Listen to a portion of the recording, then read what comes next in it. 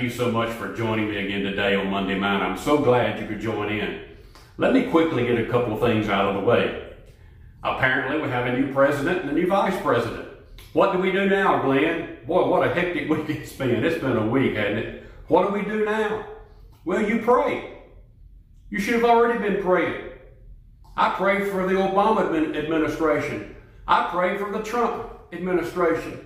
I will pray for Joe Biden and I will pray for Kamala Harris. That's what Christians do. You give it to God, you pray. God has in our nation in leadership who he placed in, in leadership, and we have to cope with that. We just have to pray. That's what we do. It's very simple. Pray. And also this week is Veterans Day. A very special shout out to our veterans. We love you. We honor you. Uh, we appreciate you so much for what you have done for our country, what you are doing for our country, and what you will continue to do for this great country, the United States of America. Thank you so much. Today we're in John chapter 13, excuse me, John chapter 16, verse 13. The Holy Spirit is not an it. The Holy Spirit is not an it. There seems to be a lot of confusion today in the religious world over the Holy Spirit. Some consider the Holy Spirit as some type of an elusive force that just comes upon us. Others consider the Holy Spirit as some type of a mysterious influence that comes upon us. Others consider the Holy Spirit as some type of immanent force that just comes from God the Father. Well, the Holy Spirit does come upon us, it doesn't come upon us. He, the Holy Spirit, comes upon us and dwells within us. What an honor to know that the Holy Spirit lives in me. It is a real living being. Let's read what Jesus said about the Holy Spirit in John chapter 16. Look at verse 13. However, when He, the Spirit of truth, has come, He will guide you into all truth. For he will not speak on his own authority, but whatever he hears, he will speak, and he will tell you things to come. He, a living substance, a living person, a living being, is alive inside of you, not, not an it that just hangs around in there, comes upon you.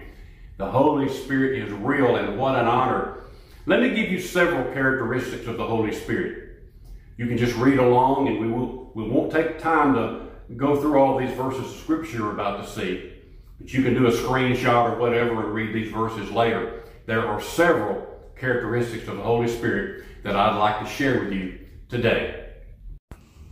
He has a mind, Romans 8, 27. He speaks, John 16, 13 and Matthew 10, 20. He teaches John 14, 26. He testifies Acts 20, 23. He bears witness in John 15, 26. He helps man's infirmities, Romans 8, 26.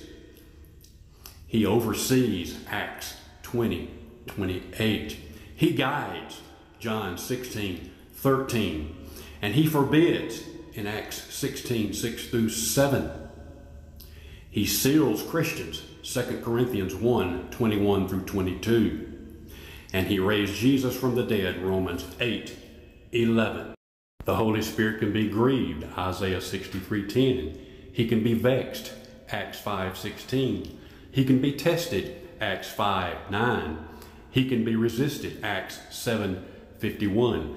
He can be blasphemed, Mark 3 29.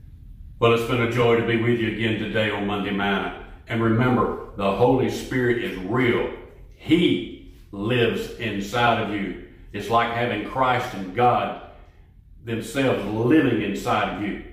What a joy and honor to know that God loves me enough to leave His Spirit to dwell inside of me and to keep me safe and secure and to guide me and to counsel me until He returns again. You guys have a great week. I enjoyed it. I'll see you guys again next Monday. Thank you so very much.